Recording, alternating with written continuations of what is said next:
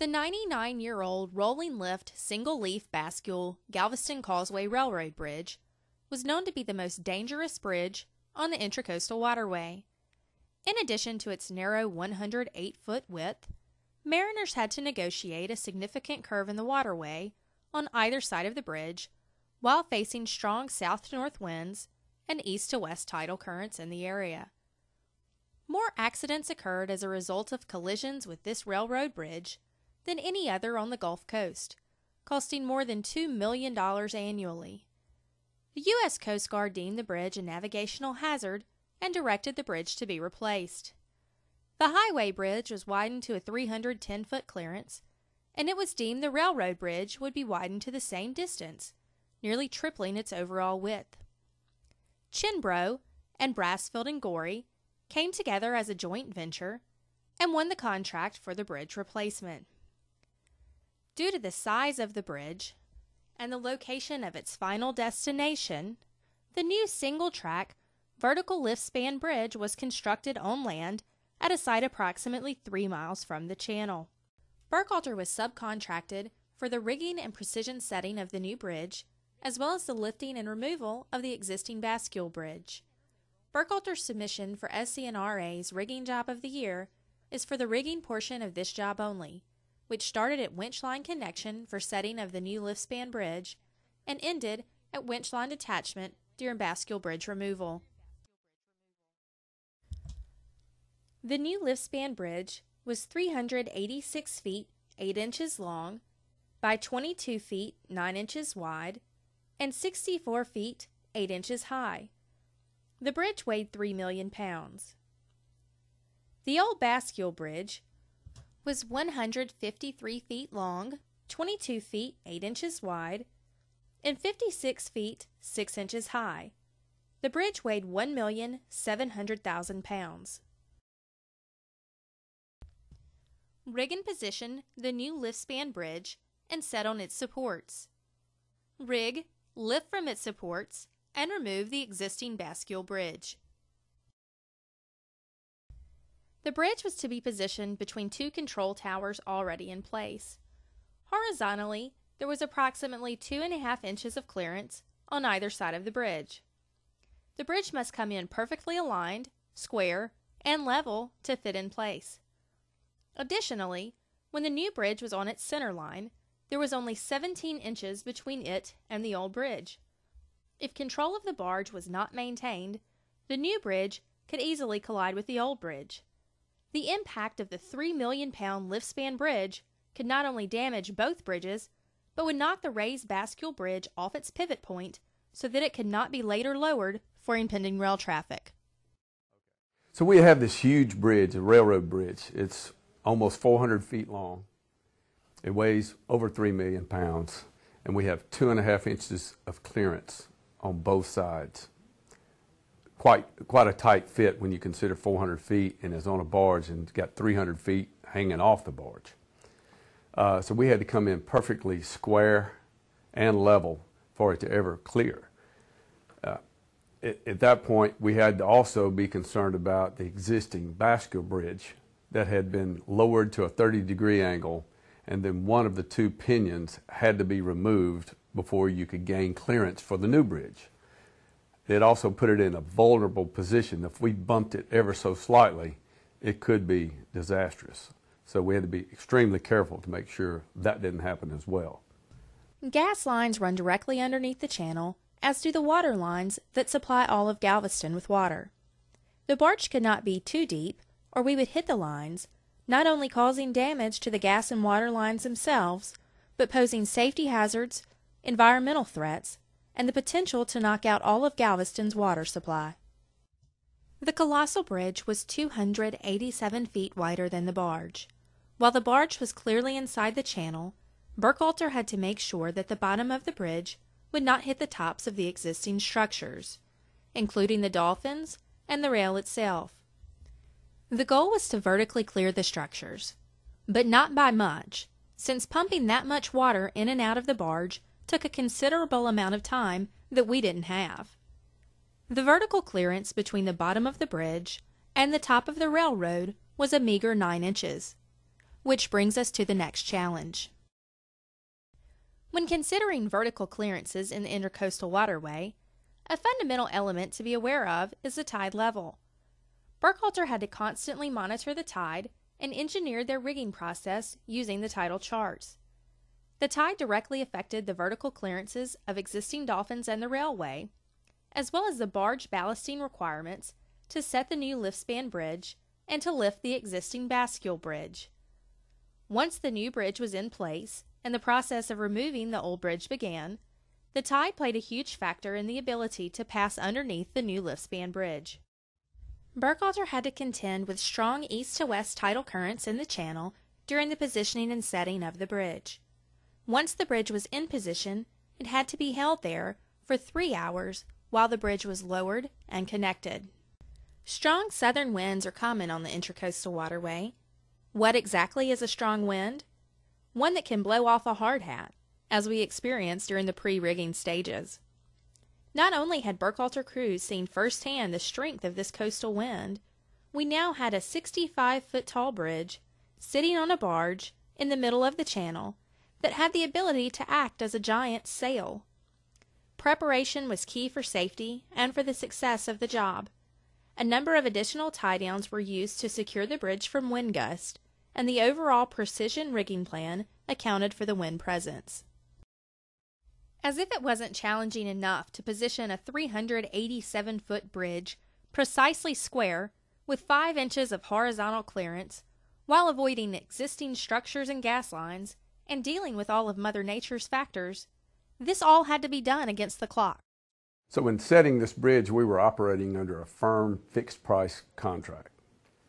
And in addition to that, there were liquidated damages if we exceeded our allotted time for setting the bridge onto its foundations. Our client had two 12 hour windows for rail closures with the BNSF Railroad, and they had severe penalties if they did not meet those times. Of that 12 hours on setting the new bridge, we only had seven hours to accomplish all our tasks. And then as we removed the old bridge, we only had five hours. So it was critical that we meet our time frames uh, because it was going to cost us uh, money per hour if we exceeded those times. In addition, we had a bonus if we beat those times. Our clients' numbers were greater than that, and of course, we want to continue to do business with them, so it was of utmost important, importance to us to make sure that we met those windows. The client originally approached us with their plan to use a 250 by 72 barge with a, a lead in on the towers to catch the bridge as it came in. And we approached them with an idea to use a 300 by 100 barge because we knew it would offer greater stability and it would allow us to use a rub rail based off of the existing channel so that we could use the barge as a guide instead of the bridge. In order to accurately control the bridge and precisely set it in place, we designed a four-point mooring system. This system consisted of two double drum waterfall winches, one placed at the rear and one placed at the front of the barge. The two rear lines were used for propulsion and the two front lines were used for braking. The two rear lines were connected to existing dolphins on either side of the channel and the two front lines were connected to existing structure on the south side. Once these mooring lines were in place, the tugboats went idle and the winches took total control. As always, safety is essential, and the focus here was no different. Burkhalter always follows a one time right philosophy, which was crucial in this job since there was only one opportunity to get it right. The key to the one time right philosophy is having both sound execution and safety plans and a commitment to follow those plans. Burkhalter's safety plan and procedures consisted of a number of additional layers on this job due to the nature of the job and the number of agencies involved. Obviously, OSHA is always a presence, but this job added the U.S. Coast Guard, BNSF Railroad, the RailSafe program, and the Joint Ventures programs, in addition to Burkhalter's safety program. With this number of agencies involved, all with their own policies and procedures, the chance for the rules to get convoluted was pretty high. But in this situation, as in others, crews followed the most stringent of the policies in order to comply with all rules and regulations set forth. Although Burkhalter wasn't working specifically on the rail line itself, the rules were still applicable. Each crew member or Burkhalter employee had to take a rail-safe class, pass a test, and receive rail-safe certification before working on site. In addition, they went through safety orientations with the joint venture and with BNSF. Open communication was required with BNSF's railroad flagman, who in turn was in communication with the trains. This flagman had to approve all activities done near the rail, even if that was simply walking across the tracks. Standard personal protective equipment was worn by all crew during the job, including hard hats, safety glasses, and steel toe boots. Each crew member was also outfitted with a high visibility safety flotation vest that was in accordance with railroad specific colors, materials, and design. A temporary barrier was installed around the perimeter of the barge. When working outside of this barrier, crew were required to tie off a full body harness to the rat line that ran six feet around the edge of the barge. As part of the rigging and final placement of the massive bridge on its bearings, it was crucial that the center line of the bridge was precisely positioned on the barge. The placement was based upon field surveys of the barge and the channel center lines. Since the center line of the new bridge was not the same as the center line of the existing channel, Burkhalter was required to come in offset. On February 14th, Burkhalter began lining up the barge for the winch alignment. 20 foot chokers were located at the securement points to expedite the attachment of the mooring lines to the anchors. Making positive attachments to the securement points was critical given the extremely limited time window. The bridge was constantly monitored and trimmed by ballasting to keep it level as it approached. Utilizing the four point mooring system, the bridge was minutely controlled and positioned, final to prior set. Once the bridge was in position, 2.9 million gallons of water were used to ballast the barge and lower the bridge onto its supports, utilizing 10 6 inch ballast pumps. During this process, the mooring system was continually adjusted to maintain precise alignment of the bridge. Once the bridge was set, Burkhalter continued the ballasting process to provide clearance under the bridge, at which point the mooring lines were detached and the tugboats moved the barge outside of the channel before the seven hour time window expired. Removal of the barge allowed the joint venture access to continue their operations in preparing the new bridge for commission and preparing the Bascule Bridge for removal. It also allowed the Bascule Bridge to be lowered and rail traffic to resume. Within minutes of Burkhalter's timely exit from the channel, scheduled rail traffic was once again crossing the old Bascule Bridge. Rail transit had resumed, and the new lift span bridge was in place, but the job was not yet complete. The existing Bascule Bridge still had to be removed from the site. When it came to removing the old bridge, the customer's initial plan was to dismantle it in place, but with tight time constraints and environmental concerns, this didn't seem possible. Another critical issue is that a bascule bridge, by design, the center of gravity is off to one side and not even located over the channel, literally making it impossible to move without repositioning the center of gravity or dismantling it altogether. We proposed several solutions for the customer to remove this bridge, the first of which involved basically cutting it into two pieces, leaving the counterweights on shore and we would take the rest of the bridge out on top of our transporters on the barge. This, this rose some environmental concerns. We don't know what all paint is on it. We don't know what happens to all the metal that gets cut over uh, an existing waterway. The second option consisted of bringing in extra counterweights and placing them at the toe of the bridge.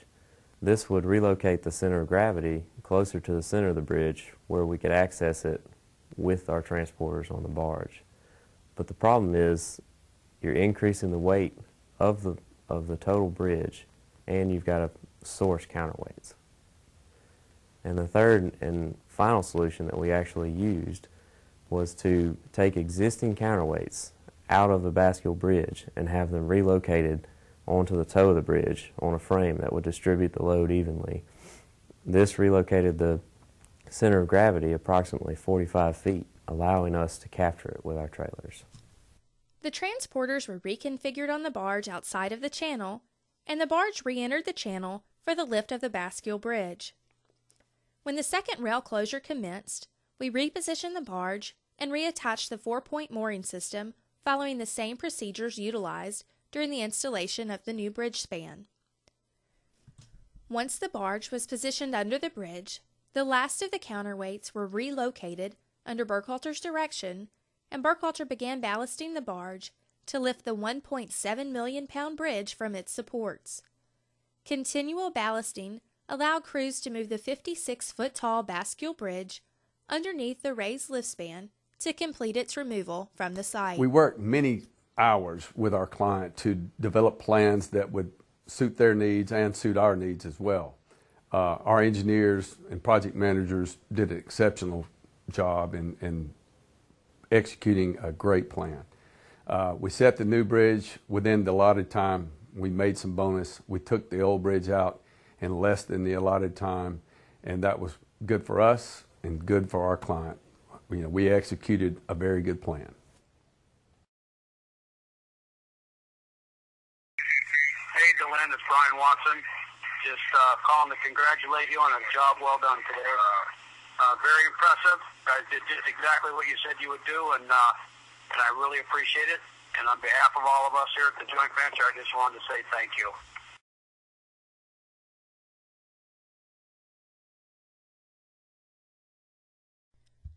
Burkhalter successfully completed the job as required by the firm fixed price contract. The job was completed safely and on time with no injuries, delays, or property damage.